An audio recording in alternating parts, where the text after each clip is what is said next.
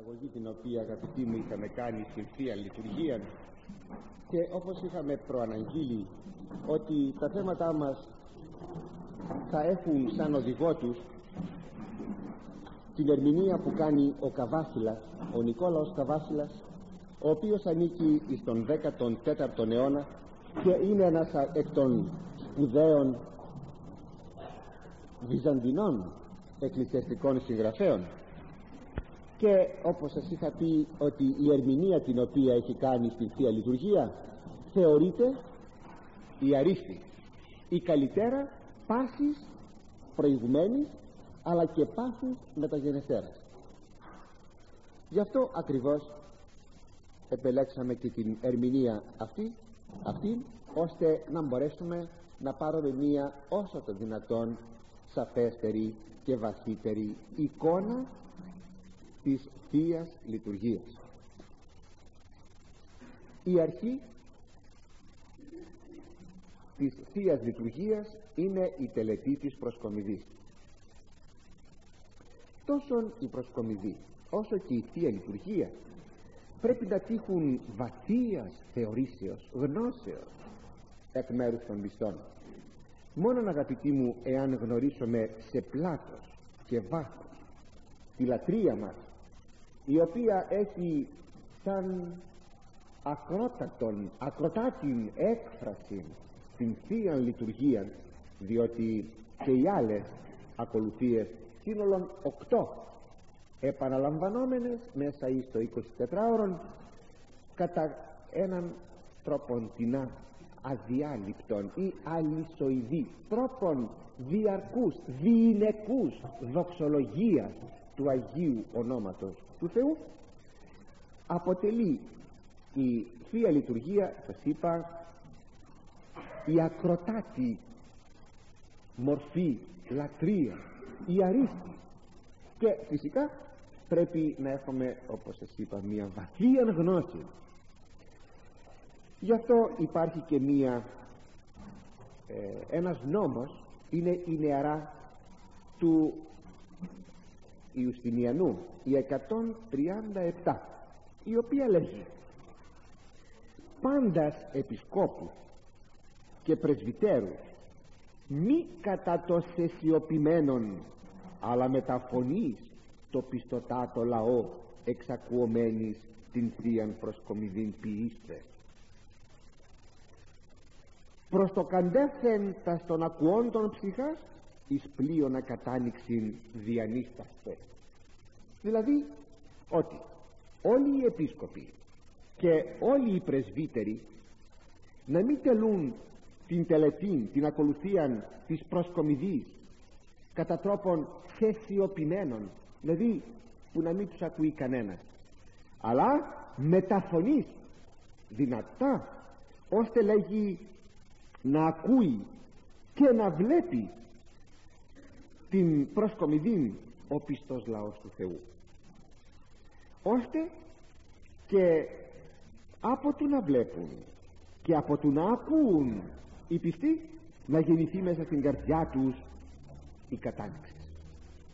Διότι πράγματι όταν εμείς όλα αυτά τα προσφέρουμε κατά έναν ξεσυγημένον τρόπο και ο λαός ούτε βλέπει ούτε ακούει εμβολή.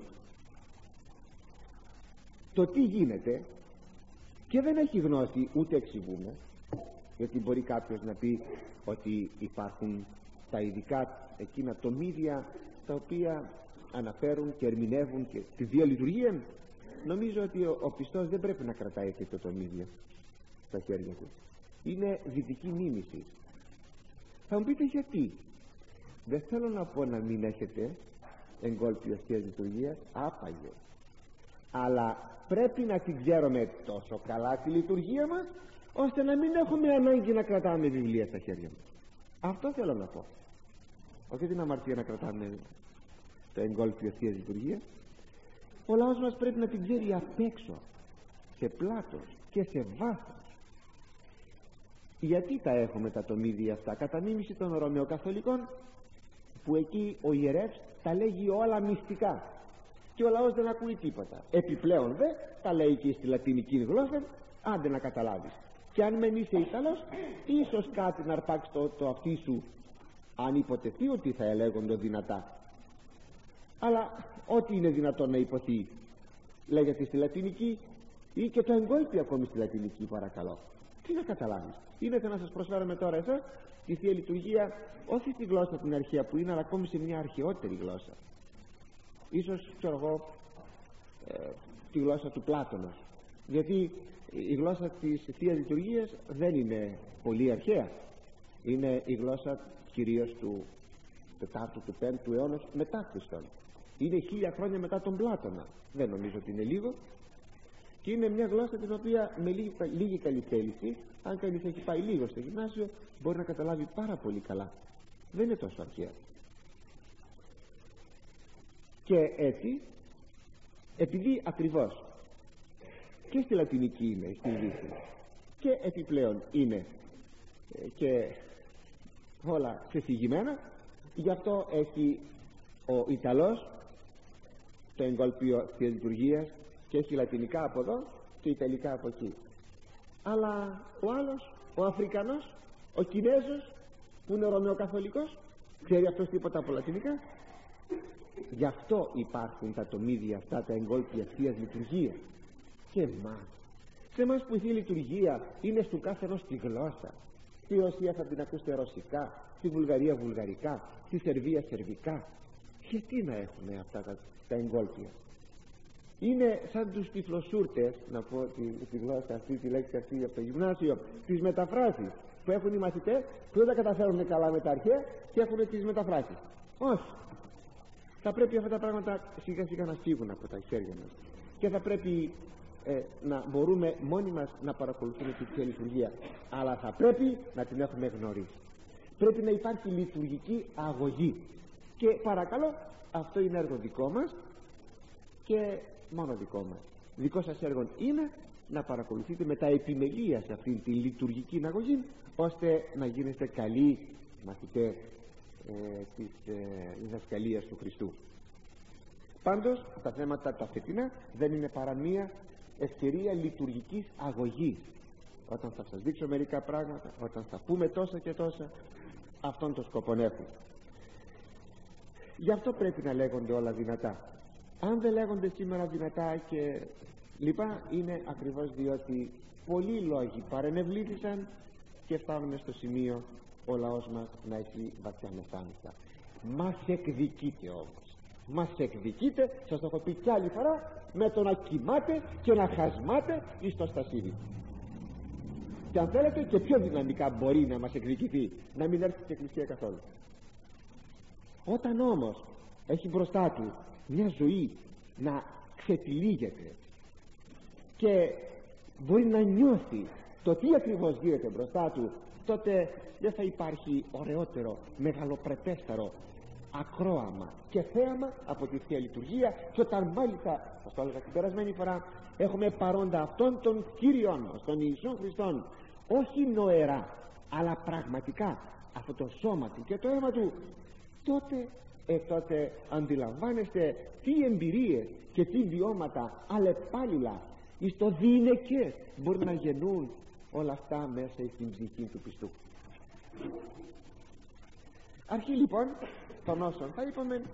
Είναι αγαπητοί μου η προσκομιδή η προσκομιδή λέγεται και προσφορά.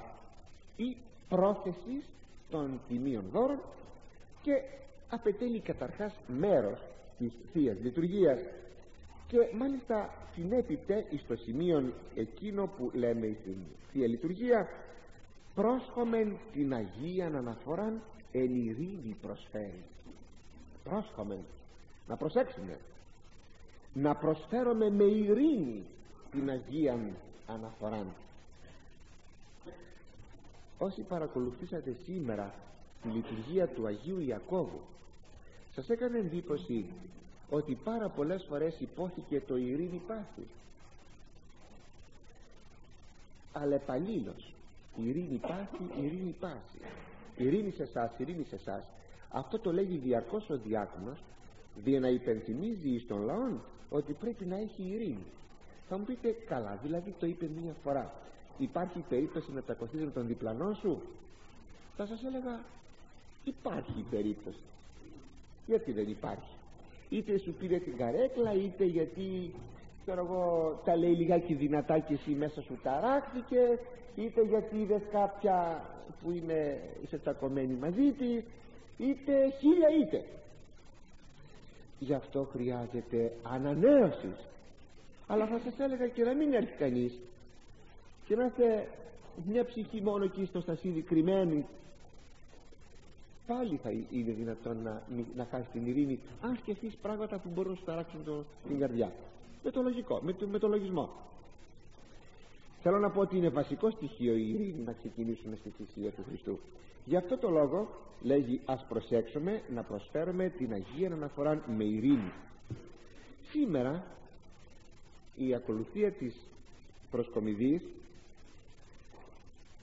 είναι χωρισμένη από τη Θεία Λειτουργία και με την ίδια ονομασία πλέον ονομάζουμε όχι μόνο την ακολουθία, την τελετή αλλά και τον τόπον ο οποίος βρίσκεται βορείως της Αγίας Τραπέζης και στο σημείο αυτό. Αν έχουμε τρεις κόγχες η κεντρική όπου βρίσκεται η Αγία Τράπεζα έχουμε την βορεία από εκεί και την νοτία η νοτία συνήθως είναι σκευοφυλάκιο συνήθως και η βορεία είναι η προσκομιδή.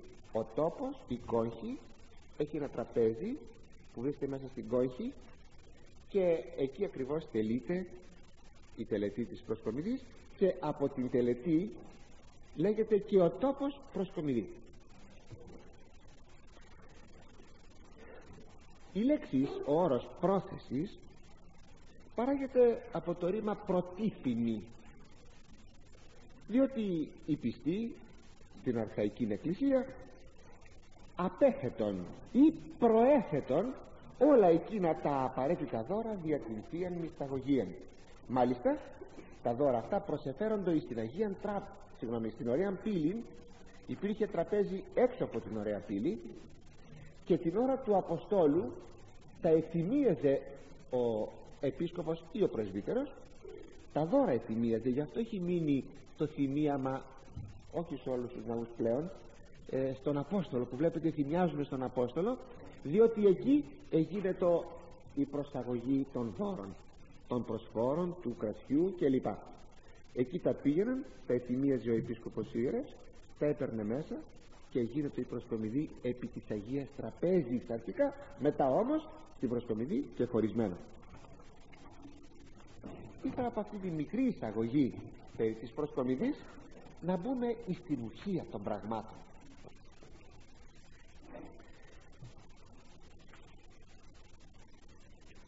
Τίθεται ένα ερώτημα. Γιατί υπάρχει μία προεργασία εις των τόπων της προσκομιδής και δεν πάμε κατευθείαν στην Αγία Τράπεζα να γίνει η προσφορά και η θυσία. Δηλαδή να γίνει η θυσία επί της Αγίας Τραπέζης χωρίς να μεσολαβήσει η προσκομιδή ο λόγος ποιος είναι γνωστό ότι στην Παλαιά Διαθήκη προσεφέροντο θυσίες ή μάλλον προσφορές, προσφορές με μία διπλή μορφή.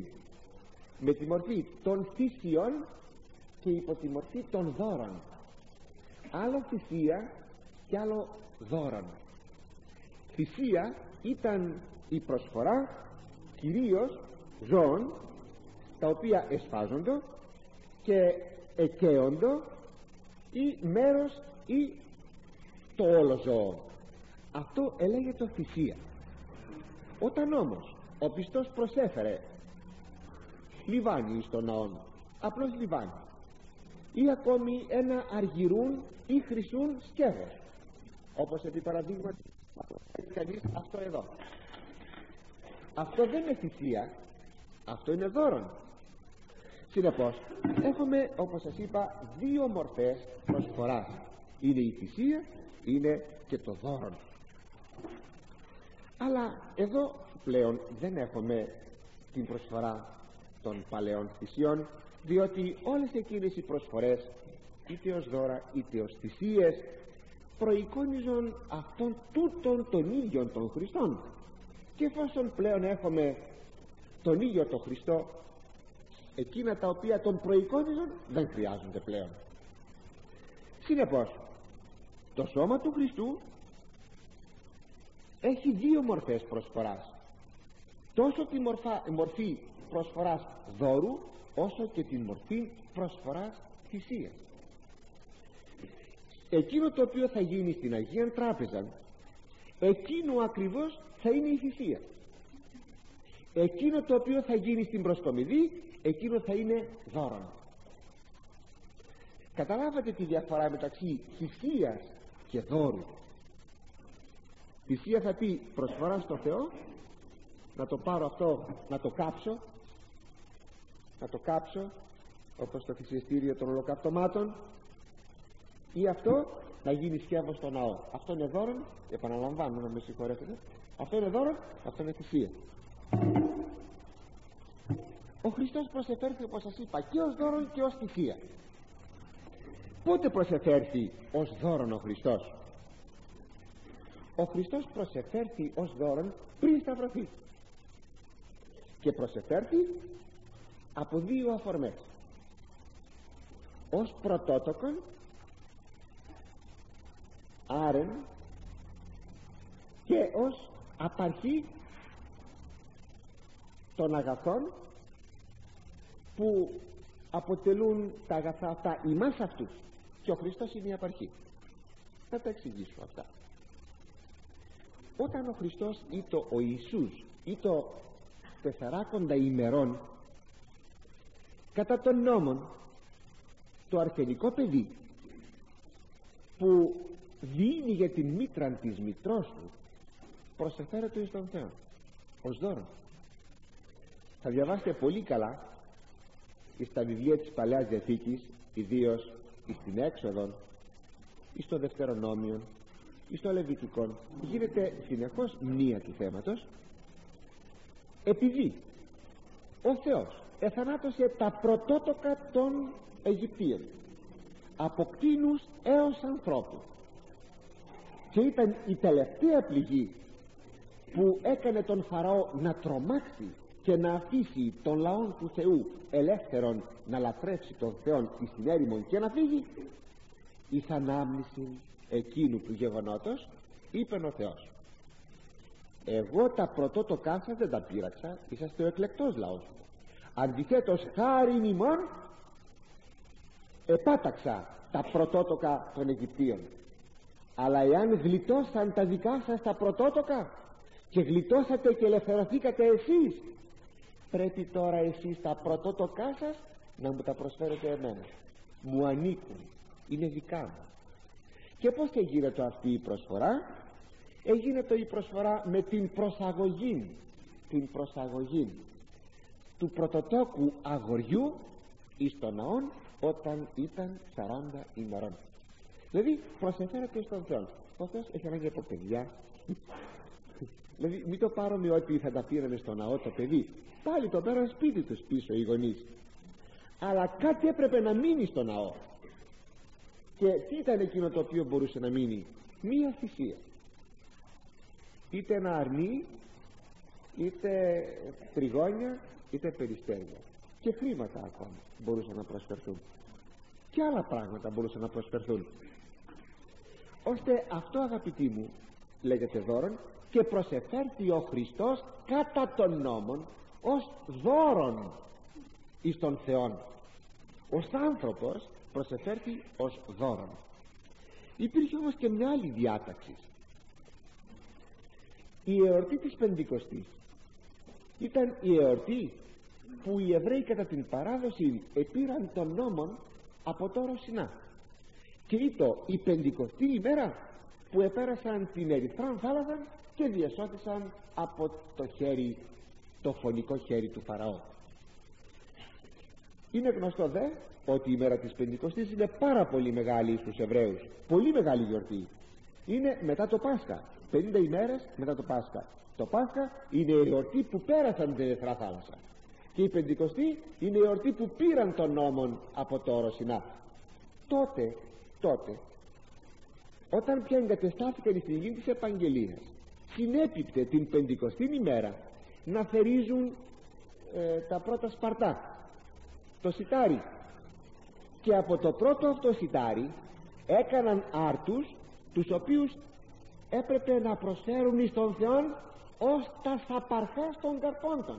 Δηλαδή ένα μικρό παράδειγμα. Όταν στο αμπέλι μας γίνει το πρώτο τσαμπί στα φύλλη δεν το τρώμε το κόβουμε και το πάμε και το προσφέρουμε στον ναό έτσι και το πρώτο στάρι πριν βάλουν στην αποθήκη τους να το κάνουν αλεύρι να το φάνε ως ψωμί έκαναν άρτους τους οποίους προσέφεραν εις τον ναό του Θεού. Αυτή τώρα η προσφορά ως δώρον ελέγεται η προσφορά των απαρχών. Διότι το, η απαρχή, το αρχίνισμα δηλαδή η απαρχή των όσων ο Θεός τους είχε δώσει και τώρα πλέον οι Εβραίοι έκαναν τη συγκομιδή τους για να γεμίσουν τις αποθήκες τους. Ο Χριστός όχι μόνο προσεφέρθη ως δώρον ως πρωτότοκος και άρεν αλλά προσεφέρθηκε ως απαρχή. Γιατί ως απαρχή; Για να το καταλάβουμε πιο καλά θα σας πω ότι η εορτή της Πεντηκοστής εις τους Εβραίους συμπίπτει με την Πεντηκοστή την εορτή τη δική μας. Τι σημαίνει αυτό; Την εορτή της καθόδου του Αγίου Πνεύματος. Διότι το Πνεύμα του Άγιο όταν κατέβηκε την ημέρα αυτή και ακριβώς η, η παλαιά Πεντηκοστή ήταν εικόνα της χριστιανικής Πεντηκοστής το Πνεύμα το Άγιον βγάζει στον κόσμο τις πρώτες απαρχές τους πρώτους καρπούς τους καρπούς των πνευματοφόρων ανθρώπων. Και η απαρχή είναι οι 120 άνθρωποι που ευρίσκονται μέσα εις το υπερόν και που εδέκτησαν την χάρη του Αγίου Πνεύματος. Και μετά έχουμε τη συνέχεια της απαρχής οι 3.000 που πιστεύουν οι 2.000 που πιστεύουν και ούτω καθεξής. Ώστε ο Χριστός είναι απαρχή σε τούτο. Όταν ανεστήθη το σώμα του έγινε άφθαρτο και δυνάμει της δικής του Αναστάσεως θα αναστηθεί και το δικό μας σώμα.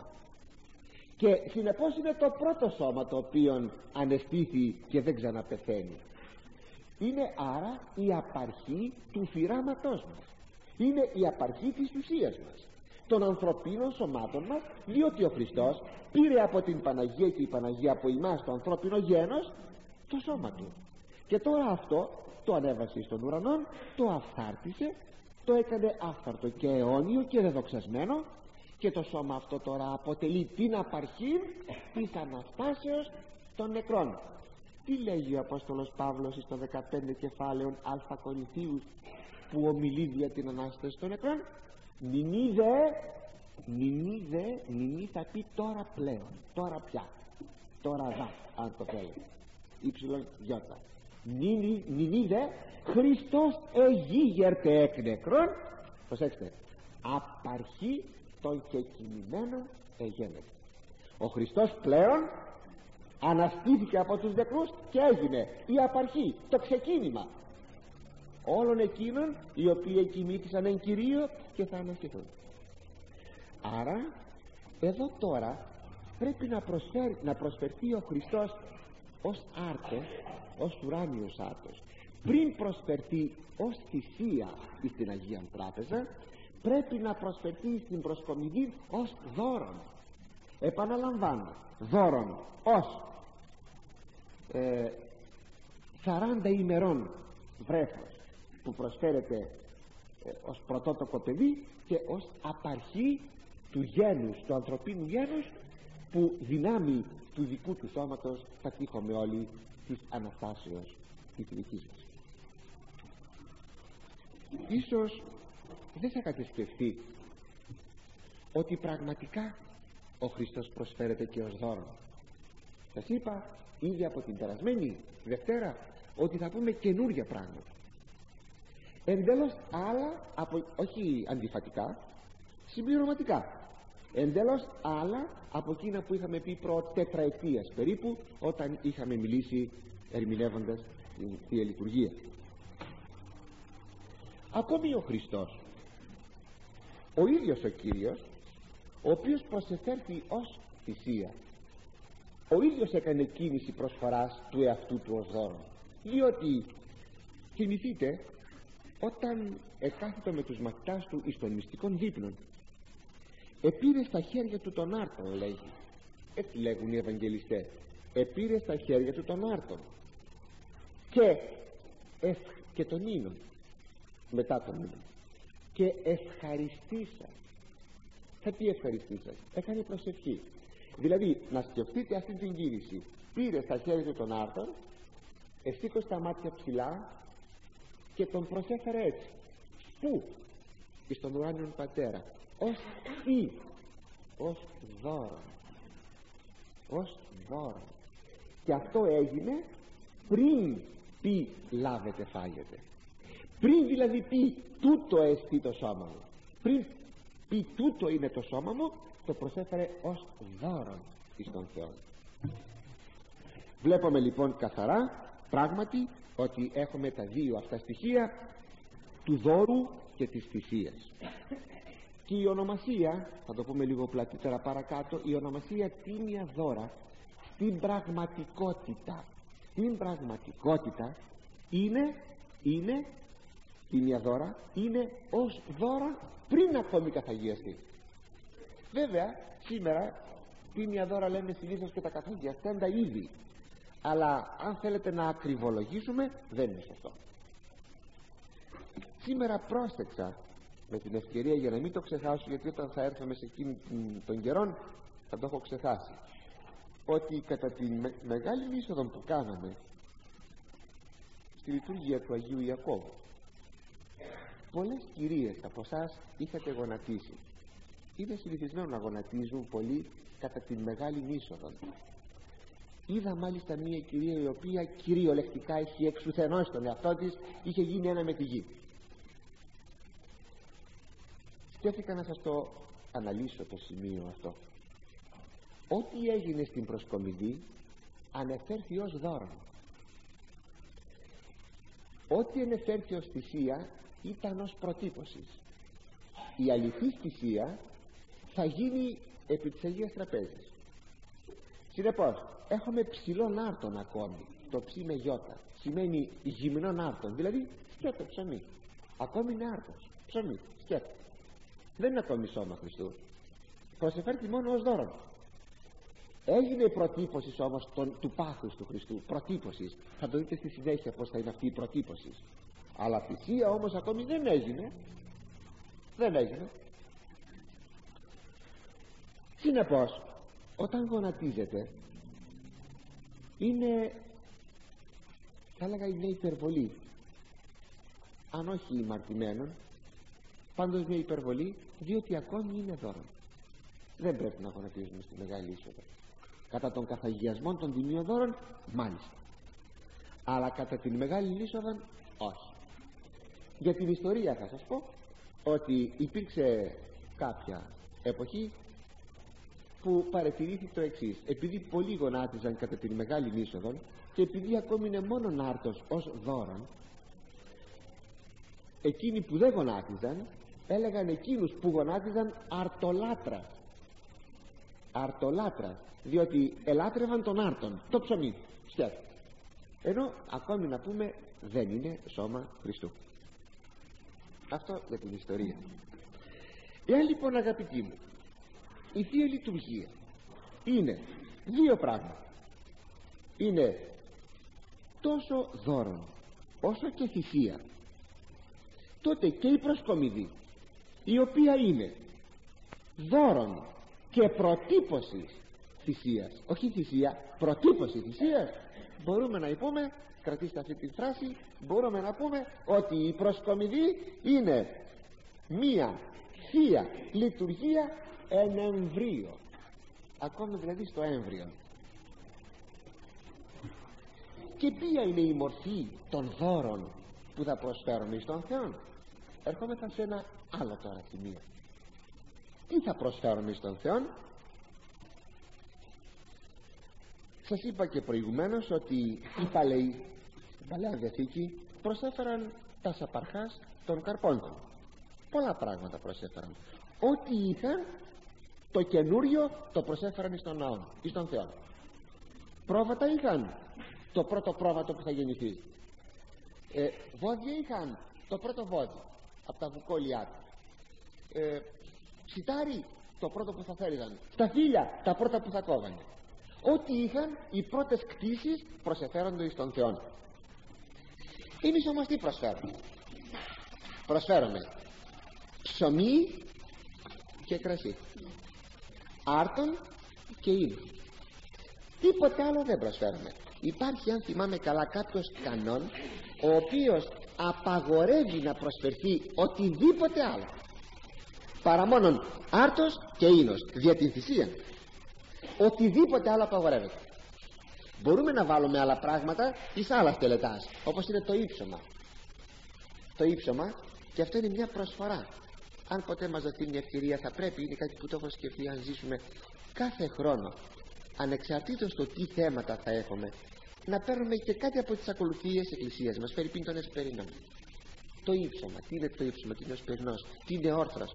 Ώστε σιγά σιγά να μπορούμε να κατατοπιζόμαστε τι είναι το κάθε πράγμα στη θέση του. Τι είναι όμως ο άρθρος και ο ήλιος που μόνο αυτά πρέπει να προσφέρουμε στον Θεό είναι αγαπητοί μου τα κατεξοχήν θα έλεγαμε στοιχεία της ανθρωπίνης τροφής. Αλλά τι είναι παρακαλώ αυτή η τροφή άρτος και ίνος δεν είναι τίποτε άλλο παρά ένα δείγμα ότι έχουμε παρουσία ζωής. Ποιος τρώγει; Αυτός που έχει ζωή και ποιος έχει ζωή; Αυτός που τρώγει. Συνεπώς τι σημαίνει έχω άρτον και ίνον σημαίνει έχω ζωή και τι σημαίνει ότι αυτή η ζωή είναι κάτι που την προσφέρω εις τον Θεό σημαίνει ότι αυτή η ζωή προσφέρεται για να δείξει ότι εμείς οι ζώντες προσφέρουμε εις τον ζώνταν Θεόν αυτήν ταύτην της ζωής μας. Θα το δούμε λίγο στη συνέχεια. Πάντως είναι μια μαρτυρία ότι ο άρτος και ο ίνος εκφράζουν την ζωή. Να ακριβώς πως γιατί ακριβώς συντηρούν τη ζωή ε; ο Απόστολος Πέτρος λέγει στα πράξεις 10.41 συνεφάγομεν με ποιον; Με τον Χριστόν. Φάγαμε μαζί και συνεπίομεν ήπιαμε μαζί. Αυτό το Χριστό μετά την Ανάσταση. Δηλαδή με άλλα λόγια θέλει να πει ο Χριστός ήταν ζωντανός ανεστήθη πραγματικά. Το λέει με τούτα τα λόγια και τα οποία είναι αδιάσυστα για να δείξουν την πραγματική ζωή την αληθινή ζωή. Ότι είναι κάτι που ζει πραγματικά ζει. Φάγαμε μαζί του και ήπιαμε μαζί του ώστε έφαγα με κάποιον και ήπια με κάποιον σημαίνει ότι έχουμε την παρουσία της ζωής. Αλλά και ο ίδιος ο Χριστός όταν ανέστησε την κόρη του Ιαΐρου τι είπε; Δοθήνε αυτή φαγήν να της δοθεί να φάγει θα έλεγε κανένας. Εκείνος που εργάστη το θαύμα της Αναστάσεως ενός νεκρού θα είναι το δύσκολο να κάνει ώστε ο, ο αναστηθής αυτός νεκρός τουλάχιστον εκείνο την ώρα εκείνη την ημέρα να μην πεινάει. Να αισθάνεται χορτάτος ο αναστηθής νεκρός. Πρώτα πρώτα το να αναστηθεί ένας νεκρός δεν είναι έργο ανθρώπου αλλά είναι έργο Θεού. Το να δοθεί φαγητό δεν είναι έργο του Θεού είναι έργο του ανθρώπου. Και εκείνο που ο άνθρωπος μπορεί ο Θεός δεν το κάνει. Αλλά το σπουδαίο δεν είναι αυτό το σπουδαίο είναι ότι το σπουδαίο είναι ότι ήθελε ο Χριστός να αποδείξει ότι μόνο οι ζωντανοί άνθρωποι τρώνε. Και αν θέλετε ακόμη στη συνέχεια και οι υγιείς άνθρωποι ότι η κοπέλα αυτή που ανεστήθη ανεστήθη πραγματικά είχε πραγματική ζωή όπως όλοι οι άνθρωποι και κάτι περισσότερο δεν είχε πια αρρώστια. Ήταν υγιής. Θυμήθηκα και αυτή τη στιγμή ότι όταν ανέστησε και τον Λάζαρον λέγει εκεί το Ευαγγέλιο δεν υπάρχει τίποτα περί τον αλήθεια. Ότι στρώθηκε τραπέζι στο σπίτι του Λαζάρου και κάθισαν οι μαθητές του Χριστού και άλλοι πολλοί φίλοι και ο Λάζαρος λέει ήταν ανάμεσα σε αυτούς που έστρωθηκε το τραπέζι να φάμε. Και ο Λάζαρος. Βέβαια αν θα θέλαμε να αναλύσουμε το γιατί στρώθηκε τραπέζι και γιατί ο Ευαγγελιστής ο Ιερός σημειώνει και την παρουσία του Λαζάρου θα είχαμε πολλά να πούμε. Θα είχαμε να πούμε ότι ήθελαν να δείξουν την ευγνωμοσύνη τους αδελφές του Λαζάρου προς τον Χριστόν ε, την φιλοξενία τους ό,τι θέλετε πείτε. Αλλά αυτή τη στιγμή υπηρετεί τούτο. Αυτή η αλήθεια ότι έφαγε και ο Λάζαρος μαζί τους. Δηλαδή πραγματικά είχε αναστηθεί αυτή και όχι μόνο είχε αναστηθεί αλλά ήταν και υγιής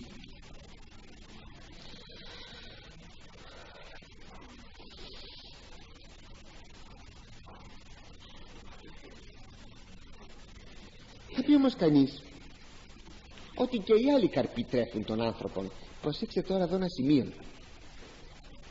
Και οι άλλοι καρποί τρέφουν τον άνθρωπο το λάδι ξέρω το καλαμπόκι τα φρούτα όλοι, όλες οι τροφές όλοι οι καρποί τρέφουν τον άνθρωπο γιατί όμως προσφέρουμε το κρασί και το ψωμί; Μήπως είναι αντιπροσωπευτικά; Όπως θα λέγαμε στο πάτερ ημών των άρτων ημών των επιούσιων δώσιμην σήμεραν κατά την λαϊκή έκφραση πάω να βγάλω το ψωμί μου ότι δηλαδή όταν λέω πάω να βγάλω το ψωμί μου με το μεροκάματο ή μου κόψε το ψωμί μου αυτός ο άνθρωπος εννοούμε μου έκοψε τη ζωή μου ή τι δεν μπορώ πλέον να αγοράσω τροφές όχι μόνο το ψωμί αλλά και το κρέας και το τυρί και το γάλα και τα αυγά και τα λοιπά. Όλα αυτά είναι τροφές μήπως λοιπόν επειδή ο άρτος το ψωμί είναι αντιπροσωπευτικό; Όχι είναι κάτι περισσότερο. Είναι και αυτό. Αλλά είναι κάτι περισσότερο από το να είναι αντιπροσωπευτικό το ψωμί όλων των άλλων τροφών τι είναι; Είναι ότι στην Παλαιά Διαθήκη θυμηθείτε όταν ο Θεός το λέγαμε πέρσι. Διέταξε και την τροφή των ζωντανών υπάρξεων είπε τόσον εις των άνθρωπων όσον και εις τα ζώα όταν ευλόγησες και τον μεν και τα δε ότι σας δίνω να τρώτε από κάθε χόρτο και από κάθε καρπό της γης. Πολλές φορές όταν αγαπητοί μου πας να κόψεις ξέρω εγώ τα κιδόνια και βλέπεις μέσα κάποιο πουλίκια όταν βλέπεις τα λάχανα και πήγε η ακρίδα και έφαγε τα φύλλα. Βέβαια δεν πρέπει να ζημιώνουν τη ζωή του ανθρώπου. Τα φυτά που φυτεύει τα ζώα αυτό πλέον είναι μια κατάσταση μεταπτωτική. Αλλά μην ξεχνάμε ότι και τα ζώα έχουν τη μερίδα του. Και ότι δεν μπορείς να πεις ότι ολόκληρο το λάχανο είναι δικό μου. Και αυτό πρέπει να ζήσεις και πήρε την ευλογία από το Θεό. Να τρώει από αυτό που τρως και εσύ. Είδατε πως μας κάνει θυμός και τα πάντα κάνουμε εναντίον των ζώων που μας τρώνε τα σπαρτά μας, τα λαχανικά μας, τα φρούτα μας. Σας είπα με την εξής διαφορά ότι δεν θα έβλαπταν τα ζώα εκείνα τα οποία ο άνθρωπος θα έσπερνε αλλά θα εστρέφονται προς τα αυτοφυή εκείνα τα οποία θα επίτρεπαν μόνα τους αλλά μετά την πτώση στρέφεται το ζωικό βασίλειο και κατά του ανθρώπου διότι μάρτυσε ο άνθρωπος. Βλέπουμε λοιπόν ότι τόσο τα ζώα όσο και ο άνθρωπος έχουν κοινή τροφή. Εν τούτης υπάρχει ένα κάτι που κάνει τον άνθρωπο να ξεχωρίζει από τα ζώα ως προς την τροφή. Τι είναι; Το κρασί και το ψωμί. Γιατί; Διότι οι μεν πρώτες ύλες είναι παρμένες από τη φύση αλλά θα πω την φράση του Καβάσιλα. Το δε κατασκευής άρτου δεηθήνε ώστε φαγήν και μηχανήσας θεήνων ώστε ποιήν ανθρώπου μόνον ίδιον. Μόνο ίδιων χαρακτηριστικών του ανθρώπου είναι να κατασκευάζει τον άρτον. Ενώ τα ζώα δεν κατασκευάζουν την τροφή τους τη βρίσκουν έτοιμη και να μηχανοποιεί. Μηχανίσαστε τον ίνον θα βάλει τα σταφύλια μέσα σε ένα κάδο στο πατητήρι, στο λινόν. Θα τα πατήσει θα βγάλει τον χειμών θα το βάλει στα βαρέλια θα το αφήσει εκεί 40 μέρες περίπου. Θα κατασταλάξει θα δημοθεί θα γίνει κρασί και τότε θα πάρει και θα πιει. Τα ζώα δεν κάνουν τέτοια πράγματα. Ώστε επειδή τυχαίνουν ανθρωπίνης επεξεργασίας ο άρτος και ο ίνος αποτελούν ιδιαίτερες τροφές του ανθρώπου. Και μην ξεχνάμε ότι από αρχαιοτά των χρόνων μπορεί ο άνθρωπος να μην ξέρει να μαγειρέψει δεν ξέρω τι αλλά τον άρτον και τον ίνον τα ήξερε. Θυμηθείτε τον Νόε. Πότε έζησε ο Νόε; Έζησε την εποχή του κατακλυσμού. Πότε έγινε ο Θεός ξέρει πότε έγινε όταν λέγει ευγήκαν από την Κιβωτών ο Νόε εφύτεψε αμπέλι. Το ετρίγησε έκανε κρασί και μάλιστα λέει εκεί η Γραφή ότι και ενέφησε τι βλέπουμε από την λεπτομέρεια αυτήν ανάμεσα στα πολλά άλλα βλέπουμε ότι είναι τόσο αρχαία η επινόηση ο άνθρωπος να κάνει κρασί. Έτσι οι μορφές αυτές του άρτου και του ίνου δεν είναι απλώς μορφές τροφής αλλά μορφές ανθρωπίνης μορφής διότι τα κατασκευάζει αυτά ο άνθρωπος. Μία μικρή σημείωση εδώ. Με τα πόσης επιμελίας θα πρέπει να κατασκευάζεται συνεπώς αυτό το πρόσφορο θα επανέλθω στο σημείο αυτό της επιμελούς κατασκευής αλλά πράγματι προσέξατε με τα πολλής επιμελίας πρέπει να κάνετε το πρόσφορό σας. Οι παλαιοί και το κρασί που έδιναν στον ναό δεν το αγόραζαν αλλά έστειβαν όχι με τα πόδια τους τα σταφύλια ίσως θα το γνωρίζετε αρκετές από σας κυρίες αλλά με τα χέρια τους έστειβαν τα σταφύλια έκαναν τον χειμών τον έβαζαν σε ένα βαρελάκι και αυτό ήταν ξεχωριστό για νάμα για τον ναό αλλά ακόμη και το σιτάρι το διάλεγαν με τα χέρια τους το έβαζαν χωριστά το άλεθαν όχι στο μήλο αλλά στο χειρόμήλο στο σπίτι να μην ανακατευτεί με τα άλλα το οποίο φιλούσαν ως αλεύρι μόνο για προσφορές. Θα το έχετε ακούσει ενδεχομένως. πόσο λυπήθηκα κάποιοι άνθρωποι ήρθαν από ένα χωριό αρκετά μακρινό στο μοναστήρι να κάνουν μια λειτουργία. Ήρθαν ξαφνικά βέβαια τέλος πάντων φέραν τα κεριά τους φέραν τον άμα τους τα φέραν όλα. Από χωριό προσέξτε. Και φέρανε πρόσφαρα του φούρνου. Και είπαν ευλογημένοι φέρατε πρόσφαρα του φούρνου. Πρόσφαρα του φούρνου φέρατε. Και αυτές είμαστε. Με τα πόδια ήρθαν τόσο δρόμο. Κόπο κάνανε να τους βλέπατε ήταν αξιολύπητοι αυτοί οι άνθρωποι κάτι γυναίκες ένας άνδρας. Ε, τους λυπήθηκα πραγματικά τους λυπήθηκα. Την ταλαιπωρία που υπέστησαν να έρθουν στο μοναστήρι να κάνουν τη λειτουργία. Όλα ωραία όλα καλά η διάθεσή τους η προθεσή τους όλα το πρόσφορο από το φούρνο προσέξτε το πρόσφορό σας να είναι ζυμωμένο από τα χέρια σας και να είναι με, με αλεύρι σταρένιο σταρένιο όχι άλλα άλλα στάρι αυτό σαν μια πρακτική σημείωση. Αυτός λοιπόν είναι ο λόγος γιατί προσφέρουμε κρασί και ψωμί. Διότι είναι ίδιες τροφές ιδιαίτερες τροφές δηλαδή του ανθρώπου.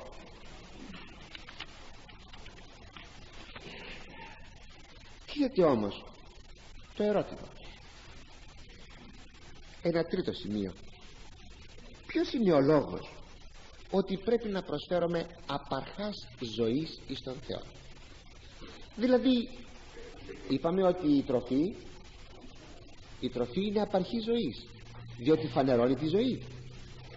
Ποιος είναι ο λόγος όμως που τώρα θα προσφέρουμε αυτό εις τον Θεό γιατί; Ο Θεός τρώγει; Μάλιστα πάνω σε αυτό το ο Θεός τρώγει όταν οι Εβραίοι προσέφεραν τις θυσίες εις τον Θεό αλλά πλέον εντελώς τυπικά. Δεν προσέφεραν τις θυσίες με την καρδιά τους δια να λατρεύσουν τον Θεό όχι χείλεση αλλά και καρδία και ψυχή δοτικές αυτά. Αλλά έτσι απλώς σαν και αυτό που προηγουμένως σας είπα ε, περνάμε από το φούρνο παίρνουμε, δίνουμε τρεις δραχμές μας τυλίγει ο φούρναρης εκεί το πρόσφορο το πάμε και όπως είναι τυλιγνό το κάνουμε το πιάνουμε στα χέρια μας το δίνουμε εκεί στο μικρό το πάει στο ιερό και τελείωσε η ιστορία. Όχι δα, όχι έτσι.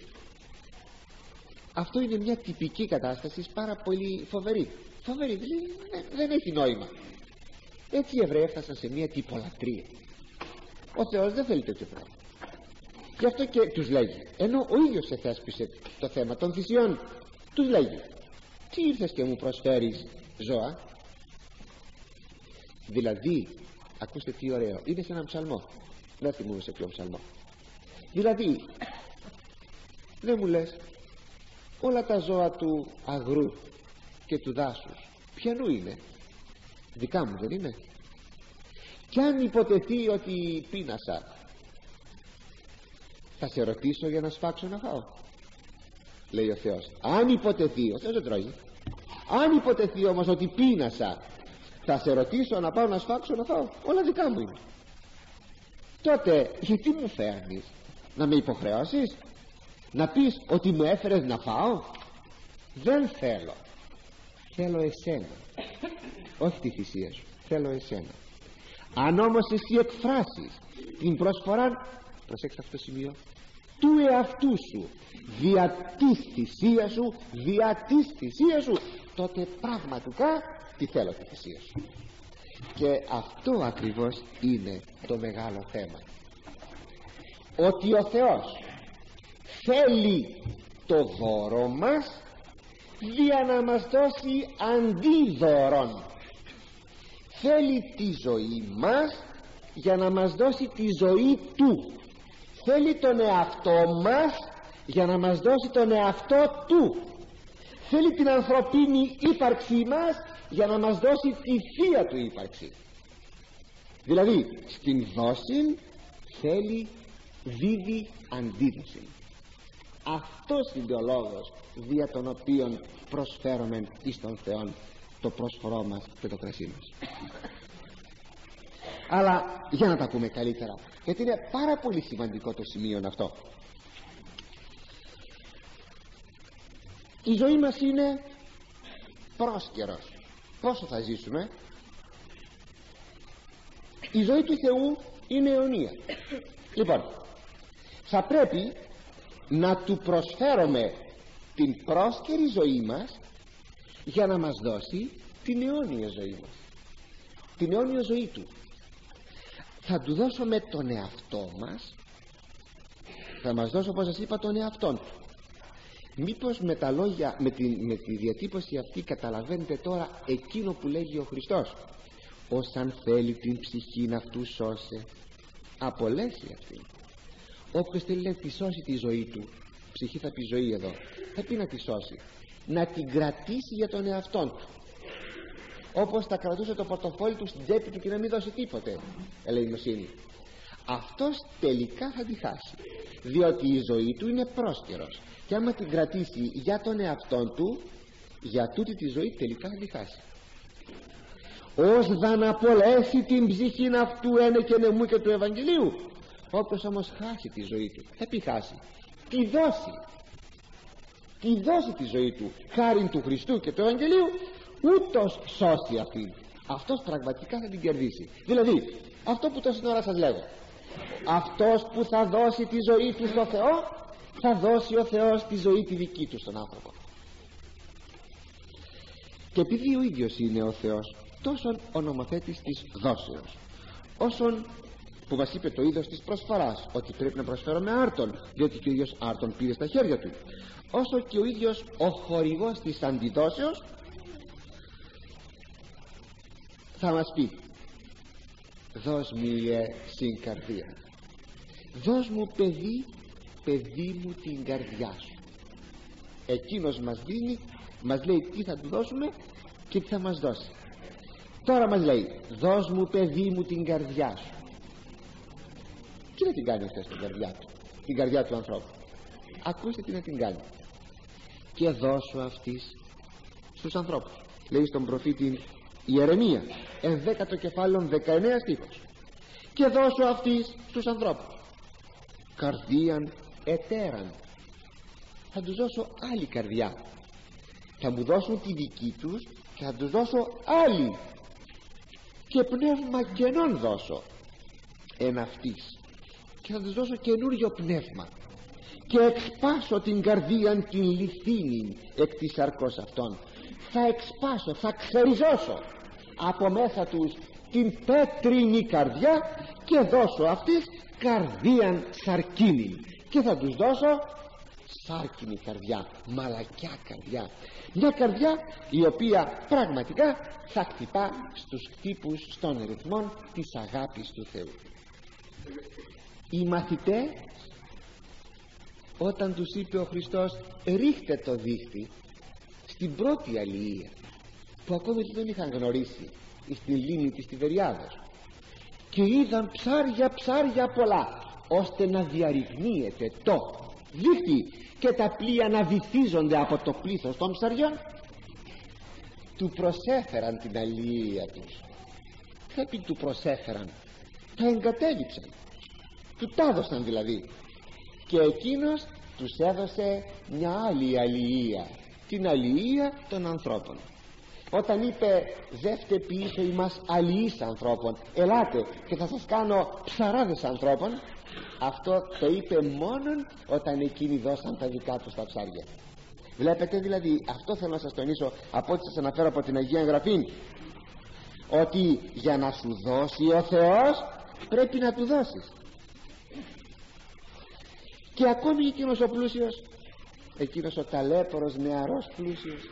Κύριε λέει τι να κάνω για να κερδίσω την ουράνιο βασιλεία; Του είπε δώσ' τα πλούτη σου πού να τα δώσεις; Στους φτωχούς όχι σε μένα τον Θεό γιατί εγώ το έκεψα για σένα δηλαδή θα μου τα δώσεις πίσω τα πλούτη σου και θα σου δώσω τον πλούτον της βασιλείας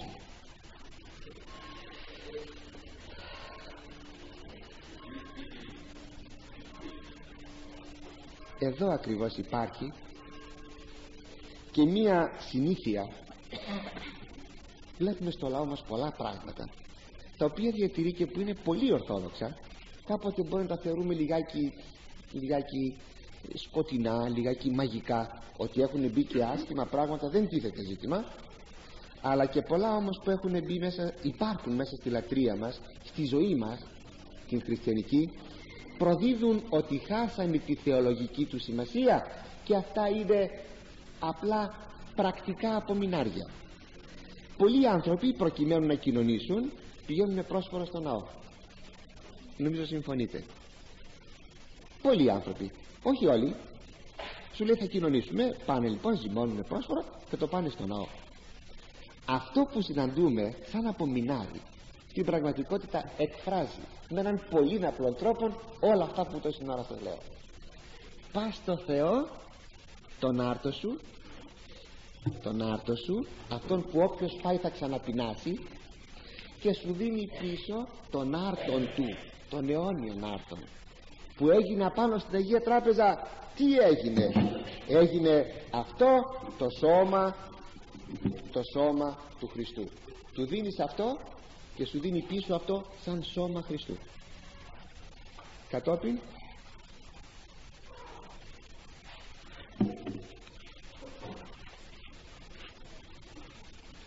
του δίνεις τα, τα επαναλαμβάνω δεν πειράζει τη ζωή σου και σου δίνει ζωή.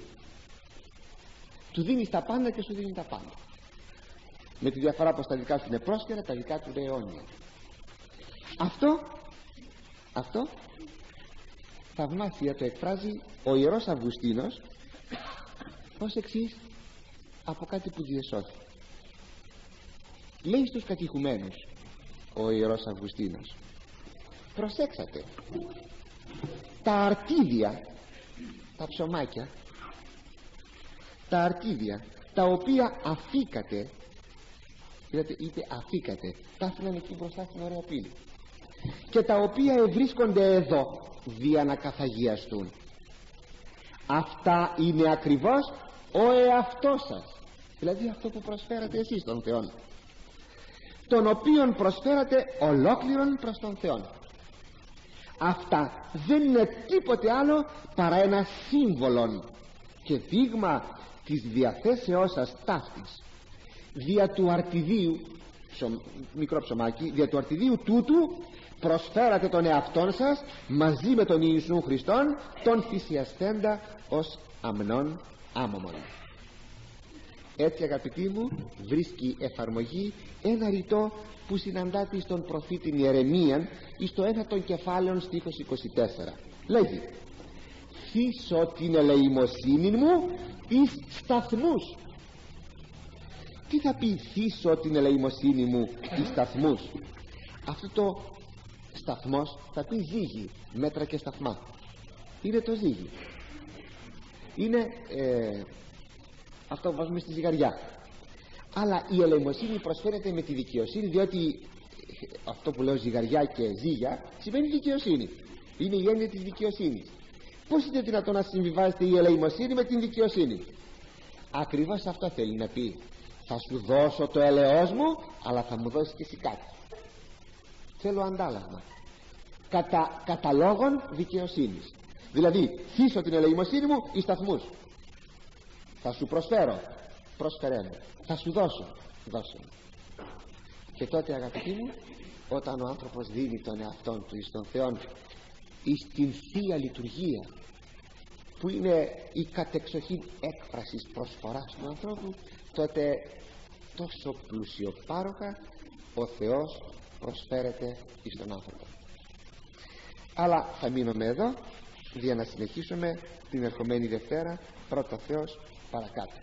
Πίστευα κάτι περισσότερο να έλεγα σήμερα και αυτό έβγαλα και το Άγιο Δισκάριο και έφερα και την προσφορά αλλά είναι τόσα πολλά αυτό που έχει κανείς να πει ώστε δεν με προλάβαμε θα συνεχίσουμε την επόμενη Δευτέρα πρώτα ο Θεός